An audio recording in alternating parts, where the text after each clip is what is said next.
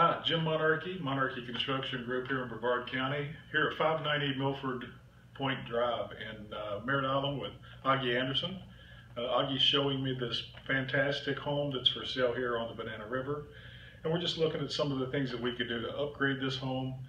It's below market value and how you could actually make this a home that's designed around you and, and your river life.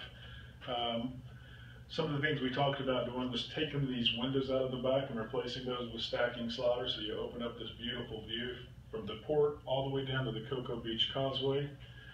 Uh, possibly removing this fireplace, just depending on taste. I don't see a big need for that, and I think that they're, they're a, uh, take away from space. Uh, adding a second story master suite over the existing garage that would overlook this beautiful view. Updating the kitchen, updating the bathrooms, flooring. There's a lot of things that you could do with this home and still keep it under market value for what you're purchasing and renovating for. It has the high volume ceilings downstairs and upstairs, beautiful woodwork.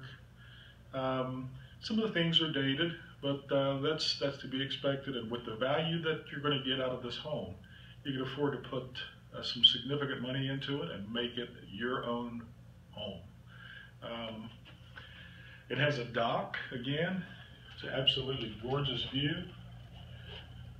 Nice riprap and close And, and, and just as a reminder, there's a deep water uh, canal across the street on the other side. So this is called water to water because even though that side's not great for, for boating, the other side of the street is, you could have a little gazebo over there and do something really killer over there as well.